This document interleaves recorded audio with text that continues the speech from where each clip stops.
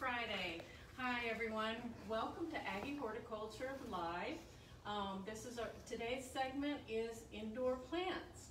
Uh, welcome, and as you come in, as you join us, would you please put your name in the chat box and any questions you have, put those in the chat box as well, and I'll try to address them throughout the session.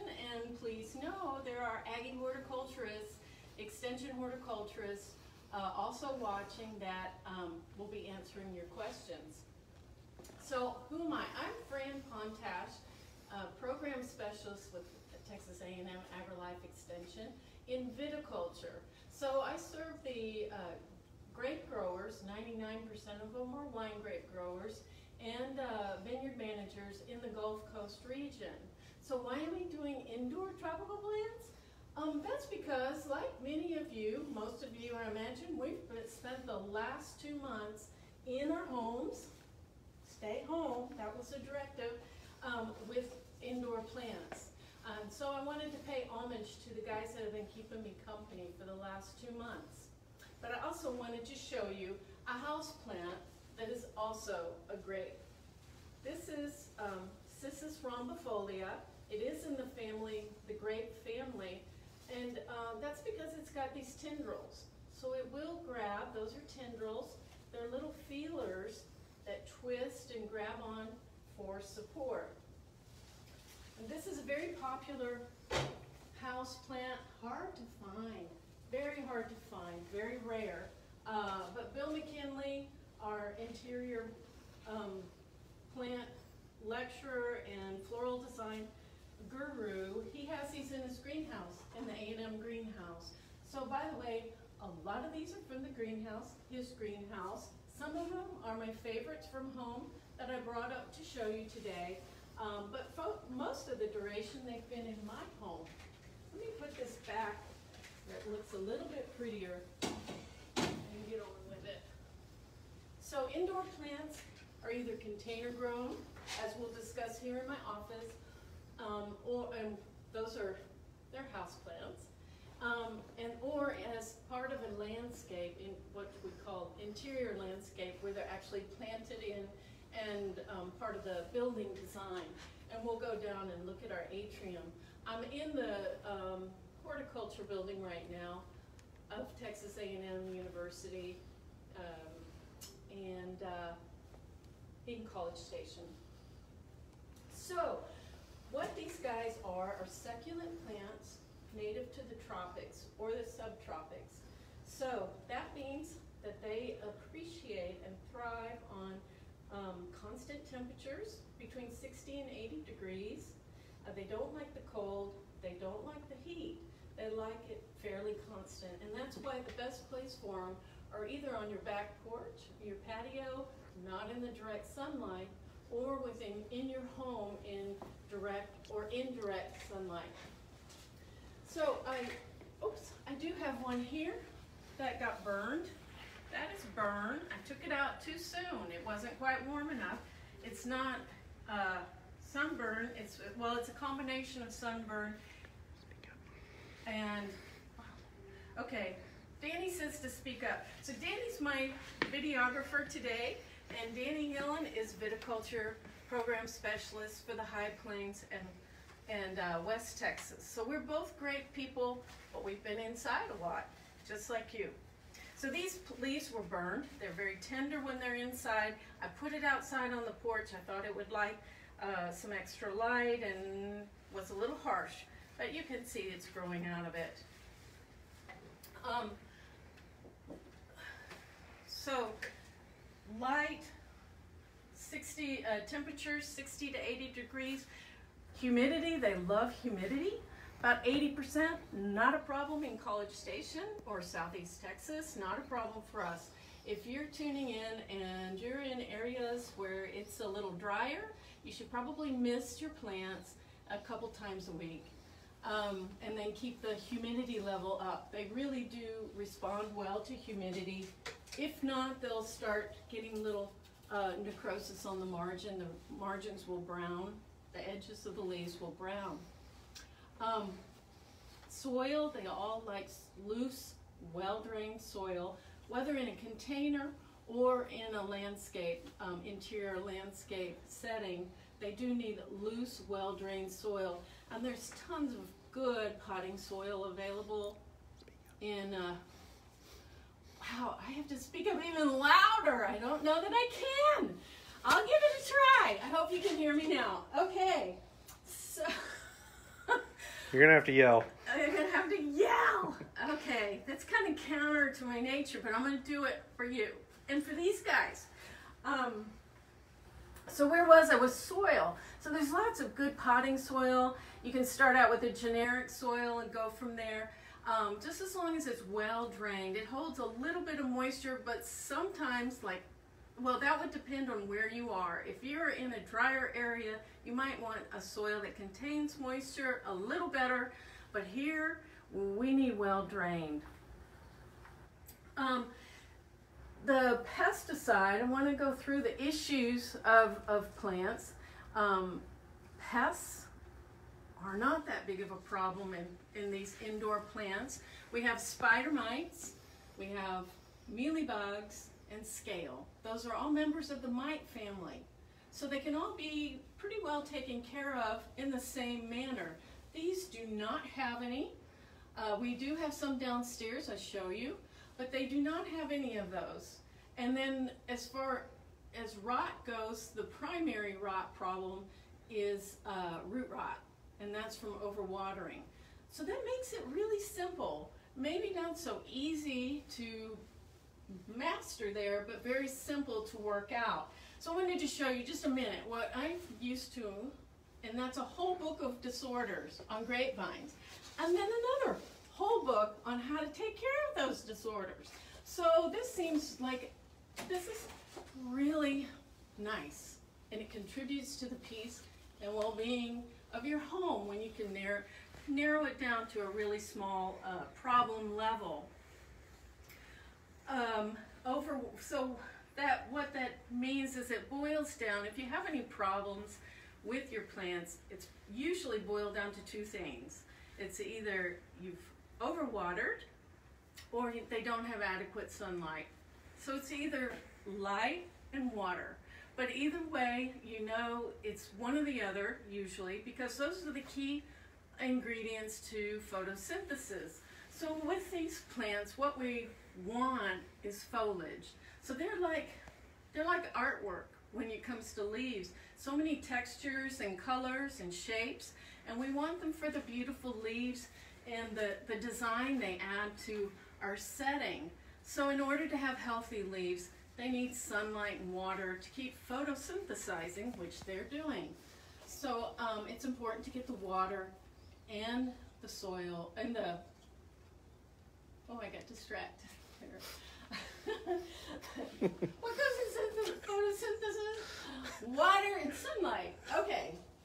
So that is broken down into another simple subject, and that is the plants that are chosen for um, interior plantscaping or landscaping. There there are few families that are used. One of them is the fig family.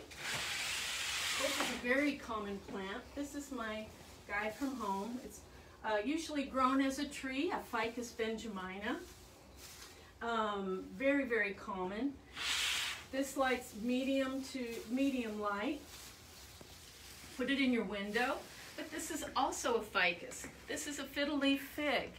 So it's also a ficus, same family. And then, then we have a rubber tree. This is a variegated rubber tree, Ficus elastica. So they all have their kind of growth habits and what they like in common. Uh, what suits one should suit pretty well suit the other as far as watering and sunlight. Um, and what I do for these, and for all of them actually, is give them a twist, put them in a window, away from any air conditioning draft, away from a draft from a open door, especially in the winter. You don't want any cold air blasting on them um, that dries them out. It dries out the humidity, not the soil, but it, it um, uh, lowers the humidity. So what you do is you just rotate it every two weeks or every month because plants are phototropic. So if they anywhere the sun, they be all growing toward them. Um, and so you just twist them around so it's even. Some growers will use that twisting to make a design out of them and uh, living sculptures really. It's kind of like living artwork. So those were our figs. They do like um, moderate uh, watering. Uh, let them dry out just a little bit so they're almost dry. That's basically the concept for most indoor plants is let them be almost dry but not completely they're much better off getting slightly dry um, before watering than um, keeping them extra moist. And these guys, they'll put out roots from the bottom when they're ready. They'll tell you when they're ready to be repotted. So just let them be. And if you see any roots coming out of the bottom, you know it's time to repot them. Let's see, what's another family? Uh, we have Dracaena. Had to move this awesome AgriLife sign. Uh, we have a Dracaena massangeana. This, uh, and then, oops. Damn it, six feet. Okay, and this is Dracaena marginata. Woo! Okay. and guy, you're from a different family. You You're not on yet. Get back. Here's another Dracaena. Can you see me? A Reflexa. This is a Reflexa. They all do well in relatively low light. They're also related to the Janet Craig, and believe it or not, Sansevieria. This is a Sansevieria in the same family. So they all um, adapt well to a lower level of, of light. And their roots, um, they can make a few tap roots, but they don't have a real big root system. So don't over pot them, get in a bigger pot than they need, or um, let them sit in water and rot. So I'm going to hold this guy for a while. This is another family uh, for the Scheffleras. This is a Schefflera arboricola. These are your trees down in Florida, Bahamas. And then a philodendron family. Pothos ivy, golden pothos, wonderful in lower light. Um, these things are magnificent and the perfect plant for uh, a neglected spot or a beginner. Because uh, if it gets too thin, you can just pinch them back and they'll bush up again. Just pinch that off, remove it, and that forces them to be bushier. Um, let's see, what else? I think that's it. We have some bromeliads, kalanchoes, but those aren't really what I wanted to focus on as far as ease in learning. So just learn how a few types grow indoors, and then you can expand your um, tapestry to other, include other species. So it's time to move downstairs and look at the atrium, but I gotta get this guy so he doesn't fall over. Let me secure him. You gonna stay put? No. He's so big. So this is one, um, uh, let me show you this guy. Actually, this is a good candidate for, for repotting. That's what I mean about roots coming out of the bottom. This guy needs to be repotted. But he's usually spends his day in the greenhouse, perfect environment, so it doesn't quite kill him. Uh, it doesn't kill him at all, it looks beautiful. But growing them indoors is artificial to their nat- natural habitat. So we need to be very cognizant of overwatering and getting enough light. The two key features. Okay, please stay. Got it. All right, let's go downstairs. So we have a little bit of a trek down this hallway, horticulture building, horticulture extension wing. It's usually very noisy and chatty because there's people here. We're a very chatty bunch. it's very quiet now. But I wanted to bring up the topic of water. What kind of water? I like to use rainwater for my own plants. This is College Station. We have very poor water. If you have better water, then that's great. You can just use tap. Downstairs we have to use RO water. Hey, Sean, that's Bill McKinley. He's the manager and brains behind our atrium. So let me catch my breath. I don't usually walk and talk so much. So loud. Um, so we have a, a backstage view of, of how the interior scaping is, is designed in our lobby. This is our showcase and uh, it's, it's what it looks like when we don't have students, we don't have floral design sitting on all those white cubes, so the display cases, we usually have, um, Bill puts his collection of art on there, vases, he's put all kinds of wonderful artwork, and he usually has them displayed. So when you walk into your, our building, it's more like walking through either an art gallery or a museum gallery. So it's a very interesting place, and the students come over here and look at, um, they sit on those seats, and uh, it's chock full of students usually. Um, they're all over the place. A lot of times spilling onto the floor. So let's go take a closer look and I'll really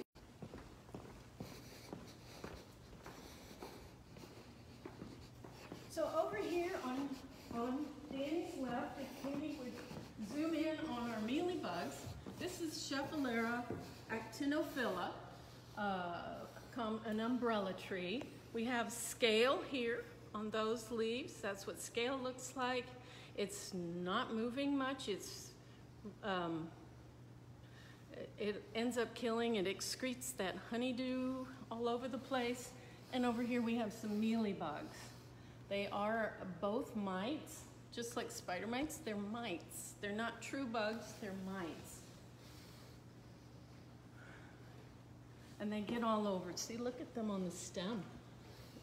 Maybe that's a good. These are the adults. And so there's two ways we can take care of that. One is to just chop it off. Chop it off, throw it away before it continues to infect. Or we could use some neem oil. And I have some here. And um, I've got diluted it and you just spray it on, but you, it's best to physically wipe those guys off. That, that takes care of it longer. Otherwise, you're spraying. Then spray every two weeks or so to retard any um, reinfestation so that they don't come back. So then you, you keep spraying so, so they don't come back. Let's get away from the, the blower near. Um, but to begin with, to get the adults off, you physically have to wipe them off uh, and remove them. So in this building, it's great light. You can see that there's um, beds. The beds line all the windows. And um, the plants that are selected in each bed are chosen based on their uh, similarities in growing habit and light uh, requirements. So again, it's all about water and light. So we have sansevierias that are still in their pots, and then these other plants that are planted directly in the soil. It's very loose. This is more like mulch. Down a little lower, it's a very thick uh, cover of mulch. Then um, as we go through, the light increases. We can use other plants that maybe can tolerate or thrive better on uh, more light. Here's a Dracaena. This is Dracaena tricolor. And I think those might be, no, I don't see any. But this is, if you look on the back leaf and you see tiny little black specks, these are famous for getting mealy, or spider mites. But the way it's modeled, I believe it's been, they've been wiped off already. They've been cleaned. but that modeling is what spider mites leave behind. Um, I didn't talk about aglaonemas and Dieffenbachia, the arums. Arum, the arum family are spathiphyllums, our closet plants, and our Dieffenbachias, aglaonemas. Um, see these Dieffenbachias in the back? These will be replanted uh, and put something else. They've been in here so long they've become leggy. That means they had a they had a really good life. Um, they've been in here a long time. They have these calyxes. This one is dead, but that's the flower, like a peace lily or your closet plant, similar. Um, and this is what they look like uh, when they were first planted. Very colorful. Um, now they've gone more green. We didn't talk about bamboos. Uh, what we have here is a rhapis palm. It's the hardiest of all the palms. You want a palm that's not going to lose its leaves or get disease, that would be a rhapis palm. Requires little care, just keep the leaves clean. That eh, helps with the photosynthesis. And then um, moderate water. Uh, some of those other palms that you see in the store, especially like an areca palm, that is good for uh, a short time. I call those my short-term rental plants. I used to have a plant company and I would lease them out for conferences, weddings, that kind of thing. And areca palms always lifted the mood, but then I knew I had to take it out, which was fine because it has such a short life. They get um, spider mites and um, lose their leaves just way too fast. So palms, use them as a minimum. Here we have a prayer plant. And uh, these guys are actually blooming. Take a look. We have some flowers. So all these are flowering plants, but since we grow them for their foliage, a lot of times people will pinch off the flowers just so the energy can be directed to their beautiful foliage. But you see all the textures and everything, how they work together. Over here we have the money tree. We have more, more of these. Um, gosh, I forgot the name, but they are a type of Dieffenbachia. Dwarf Dracaena warneckii and our, our, our sunburst marginata there. Um, so these are all more tolerant. Is this a sound good? Can y'all hear me? Okay, good. Um, because the fountains are in here usually and the atmosphere is really calming. It's a very calm, peaceful place to be and I can see why the students hang out here. Um, it's right now, it's just the way it is, the bare, bare bones, like I said. Just show them the, the fun sculpture we have, wall hanging just a kind of an idea of the little weird art we sometimes get in here that go well. Somehow it all works together really well with the plants and the light. I want to show you the ferns because it is the season for all of them. Ferns are not true plants. They are ferns and they don't have seeds. They have um, these spores on the back of their leaves. So some people might think they're dirty on the back, but they're not. They're about to release spores. They're forming spurs, spores, and they can release these as well. Look at all those. Some of them have opened on our maidenhair fern. These really like humidity. Look at the rabbit's foot. This rabbit's foot fern. Big roots. Our maidenhair fern. I mean, this is a maidenhair fern, for bird nest fern. This one. They can be a little tricky, but as long as they have humidity, they'll do great for you. And then we have some more um, of the same things we saw upstairs. So these, these are very, uh, they can be versatile as long as the water and the light is consistent for them. They can be used in so many settings, depending on the look you want. We have our big Schefflera, more rubber trees. Dwarf Schefflera here, variegated. Our aglaonemas, the commutatums here, very good for low light. These are excellent for low light, but they do get leggy. And then our Dracaena warneckii. And um, I think that's it. I'm going to go ahead and start cleaning off these mealybugs and scale. Um, there any questions? Or has everybody got them? They're being answered. Okay, awesome. I have an awesome team behind me, guys. Awesome team. Now I'm going to put on my gloves and clean these. And I bid you adieu. Thank you so much for joining us. Bye.